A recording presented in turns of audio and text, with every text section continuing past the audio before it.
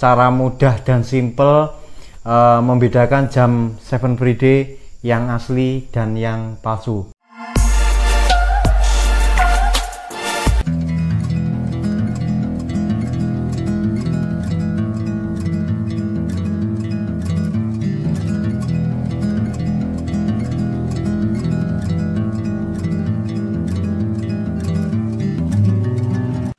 Assalamualaikum warahmatullahi wabarakatuh. Berjumpa lagi di channel saya DM13 Group. Dan kembali lagi kita akan mengunboxing. Dan kali ini spesial sekali kita akan mengunboxing jam tangan 7 Friday Oke sebelum kita unboxing Tetapi nanti saya juga akan menjelaskan bagaimana cara mudah dan simple uh, Membedakan jam 7 Friday yang asli dan yang palsu tetapi bagi teman-teman yang belum subscribe channel saya silahkan subscribe DM13 Group.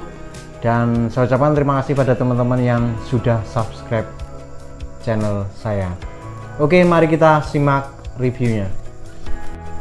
Oke ini dia jam tangan 7 Friday dan boxnya sangat eksklusif sekali. Uh, ada box kayu seperti ini ya di boxnya seperti ini sangat eksklusif dan juga elegan sekali. Oke kita buka terlebih dahulu jam tangannya. Ini ada uh, kain untuk pembersih. Kita keluarkan terlebih dahulu jamnya. Oke teman-teman jadi jam 7 Friday ini didirikan itu oleh Daniel Niederer di tahun 2012 ya dan jam tangan ini saya katakan cukup unik ya. Saya keluarkan dulu. Cukup unik karena dia tampil beda keluar dari mungkin jam tangan yang uh, kebanyakan ada di pasaran ya. Jadi bentuknya sangat unik ya. Ini mengusung konsep modern urban industrial mechanical style ya. Dan di jam tangan ini di jam tangan ini sendiri ini uh, terinspirasi bentuk TV jadul ya. Ini seperti TV tabung tempo dulu dan hampir rata-rata bentuk jamnya seperti ini dari jam tangan Seven Friday itu sendiri ya. Dan ini detailnya mantap sekali ya. Di strapnya seperti ini ada Seven Friday nya tulisannya seperti ini Oke, detailnya seperti itu. Oke, yang menjadi masalah jam tangan ini di pasaran itu sangat banyak sekali ditemukan uh, eh, KW-nya ya jam tangan ini. Dan KW-nya pun tidak main-main. Jadi jam tangan ini uh, harganya itu di atas 10 juta. Dan KW-nya itu yang mendekati yang mirror ataupun kita sebut black marketnya itu bisa di angka uh, 2 sampai 3 juta lah untuk ukuran KW bahkan uh, cukup cukup mahal ya untuk KW-nya saja seperti itu. Nah, teman-teman di sini saya akan membagikan mungkin bagaimana cara uh, membedakan jam 7 Friday ini asli atau palsu. Ini yang pertama teman-teman sekali lagi untuk uh, memastikan jam tangan ini asli atau palsu, teman-teman bisa membeli di official store-nya ya. Nanti saya tampilkan deskripsinya. Kalau di situ sudah saya pastikan tidak akan tertipu di uh, jam tangan palsu ya. Kemudian jangan terkecoh harga. Sekali lagi jam tangan Seven Friday itu harga yang original itu di atas 10 juta. Jadi kalau ada harga uh, di bawah 10 juta itu sudah bisa dipastikan KW ya.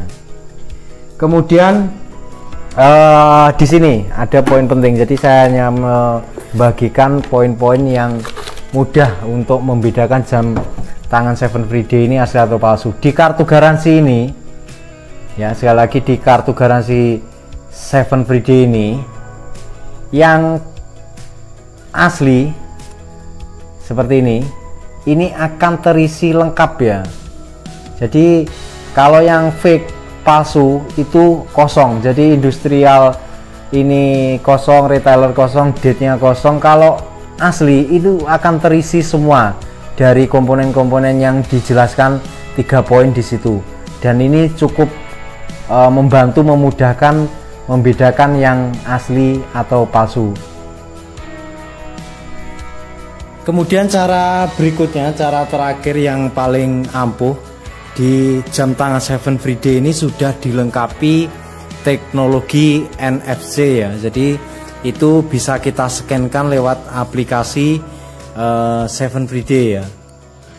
Kita buka terlebih dahulu aplikasinya. Kemudian di sini kita bisa mengecek ya. Oke, ini bisa kita tempelkan di jam tangan ini. Kalau dia asli, dia akan langsung muncul notifikasi keluar series jam tersebut ya. Kemudian kita bisa e, mendaftarkan ya. Tetapi kalau fake ini tidak muncul seperti ini atau kadang muncul try again ya. Jadi ini ada dua cara. Yang pertama itu kemudian yang kedua kita coba yang ini, cara yang kedua. Nah, kita tunggu sebentar. Jadi nanti kalau ini asli, ini juga sama. Dia akan uh, keluar uh, jenis jamnya. Tapi kalau fake seperti ini, dia seperti ada kesalahan seperti ini ya. Jadi dia tidak uh, tidak diakui seperti itu ya. Jadi itu cara-cara yang bisa ditempuh untuk mengecek jam 7 Friday itu asli atau palsu sekali lagi indikasinya jangan terkecoh harga murah uh, Seven Friday itu pasti di atas 10 juta. Kemudian silahkan beli di official store. Kalaupun tidak bisa dibeli di official store ada kartu garansi yang saya jelaskan tadi dan juga ada uh, teknologi NFC yang sangat membantu. Oke itu cara uh, simple membedakan jam tangan Seven Friday asli atau palsu yang bisa saya share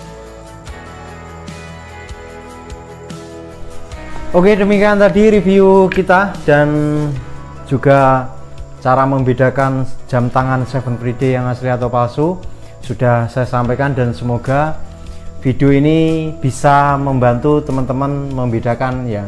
Tetapi kalau ada cara lain ataupun petunjuk lain silahkan berbagi di kolom komentar Oke, sekian dulu video dari saya dan jangan lupa untuk subscribe channel saya DM13 Group dan juga silahkan follow Instagram saya @dm_tova dan mari kita diskusikan apa pun bisa di kolom komentar atau di Instagram saya. Oke, sekian. Wassalamualaikum warahmatullahi wabarakatuh.